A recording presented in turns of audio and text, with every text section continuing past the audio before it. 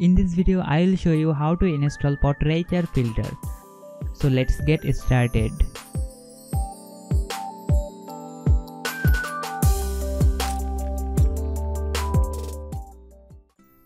Hey what's up guys? MTI here. You can see this is the Portraiture software. And today I will install and active this software. Also I will give you this software download link in the description box at first I am showing you my Photoshop filter option.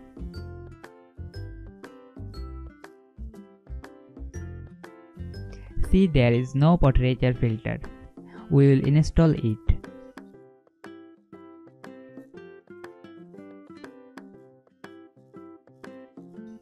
For that double click on it. Then click on next. Then I agree Also remember this location.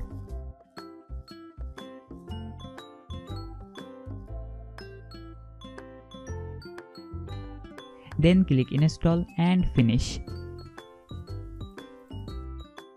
Then go to the install location.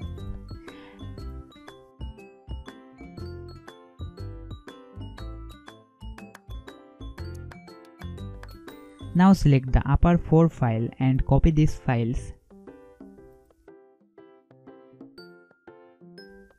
Again go to C drive, then program files, then Adobe and select Adobe Photoshop CC or uh, which version you use.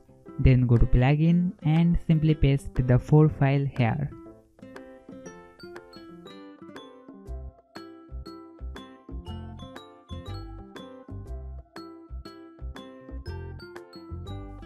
Then you need to restart your Photoshop application. Okay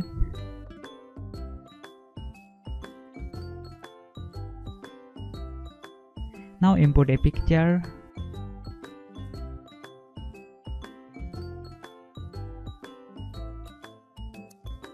Then create a duplicate layer.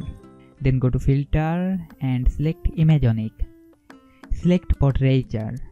Then select the preset to high or whatever you want then customize a little bit.